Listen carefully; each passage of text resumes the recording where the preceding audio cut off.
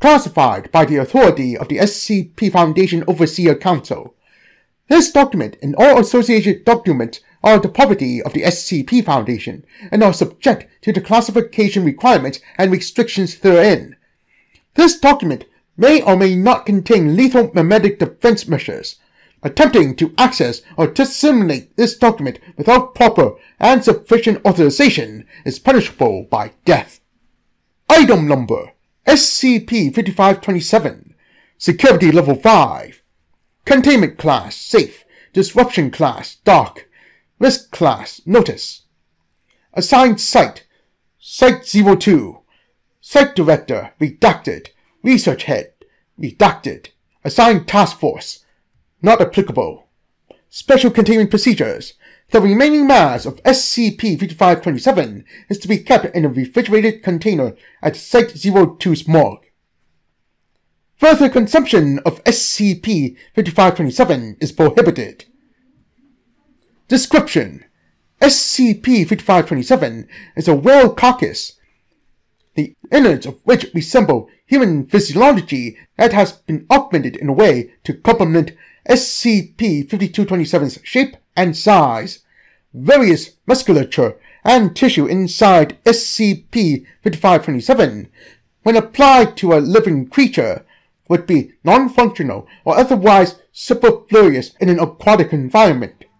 Aside from a thick layer of fat surrounding its innards and the size of such, SCP-5527's anatomy, including skeletal structure, musculature, and the locations of internal organs is identical to that of a human. Carbon dating techniques have revealed that SCP-5527 is approximately 30,000 years old. Despite this, SCP-5527 has not been observed to deteriorate beyond its present state. Traces of decayed ink has been observed on SCP-5527's left iliac artery. Material derived from SCP-5527 will, upon consumption, allow for ability to breathe in aquatic environments. This effect has been observed to last for up to 12 hours, and is otherwise poorly understood. All attempts to analyze SCP-5527's DNA using Foundation systems have failed due to an inability to recognize material from SCP-5527 as biological. Addendum 5527-1 Discovery SCP-5527 was found on 2021 January 1st when it was washed ashore on Bintan Island, near Indonesia, in front of a private estate belonging to Overseer Council Member 0512, who had been residing there at the time. Upon request, SCP-5527 was transferred to Site-02, Note, an unlisted facility staffed exclusively by high-ranking Foundation personnel, used to store and research anomalies of the highest sensitivity to Foundation security for research purposes. Addendum 5527-2 Testing Log We swam in the sea we knew to be empty. Test 1 Subject 1 Peromyscus leucopus White Mouse Note, subject was prompted to consume a piece of SCP-5527's brain matter. Following consumption, it was placed in a small cage before being lowered into a tank of water. Results: Subject remained underwater for four hours before expiring. Signs of distress were observed throughout the process. Test 7. Subject Researcher Avalon. Note: Subject was instructed to consume a piece of SCP-5527's pectoral tissue. Following consumption, subject was placed in a cage fitted with a safety system and submerged in a body of water. Result: Subject remained underwater for one hour before signaling for the cage to be raised. Aside from initial difficulties adjusting to breathing in both environments, no signs of distress or discomfort were observed. Researcher Avalon was promptly interviewed and asked to describe her experience. An excerpt of her writing can be found below. You lose all sense of who you are and where you are. When I was told I only lasted an hour, I didn't know how to respond. It felt like weeks, like I fell asleep and dreamt for a month straight. At the same time, it wasn't dreaming.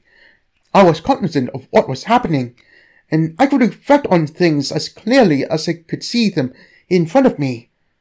I relived my life a hundred times. Every regret, moment of bliss, and even the perspectives of those around me. I fixated on a part of myself I don't like to think about. The whole time, there was a stinging feeling in the back of my neck that told me I was doing something wrong, or that I'm still doing something wrong. Following the interview, researcher Avalon requested anesthetization, which was denied in order to further observe the effects of consuming SCP-5527. Test 10 Subject, running copy of children's book The Cat in the Hat, written by Dr. Seuss. Note, subject was chosen due to a lack of water present in the narrative. Subject was forced to consume a piece of SCP-5527's tailbone through an anomalous process involving SCP beep, and was then submerged for half hour. Results Upon review, the central narrative of this copy of The Cat in the Hat had changed entirely. A summary can be found below. The story begins in a house of 12 unnamed, nondescript children who express boredom with their current situation. A loud noise is heard from the basement, and the character of the cat in the hat emerges from the cellar door. He promises to show the children ways to occupy themselves, but the children's pet fish objects. The cat laughs and removes the fish from its bowl. He replaces the bowl's water with a liquid that pours from underneath his hat. Upon reintroducing the fish to the bowl, it drowns. Her children, now ecstatic without the presence of the sole supervising force in their lives, begin to vandalize the house, breaking objects and drawing on walls, among other destructive activities. The cat offers to retrieve two beans, referred to as the things, from the basement to assist with the destruction. The children become immediately frightened, some to the point of tears, and beg the cat to leave the things where they belong. As the cat continues to threaten the children with going into the basement, an obscure figure is seen approaching the house from outside the window. The children realize the mess they've made and panic. The cat takes pleasure in the distress and retreats into the basement. The obscured figure opens the front door, and the children begin to run. The book ends with a question posed to the reader. What would you do if you could know the truth? Further testing regarding SCP-5527 has been prohibited at the request of the O5 Council. Addendum 5527-3 Incident 5527 We should have been more careful. Incident Log Date 2021 January 12th At 025 Overseer Council Member 0512 accessed SCP-5527's containment locker and proceeded to consume a large amount of its innards, including the entirety of its brain, heart, eyes, and skeleton. Following this, 0512 proceeded to a residence on Bintan Island, where SCP-5527 had been discovered.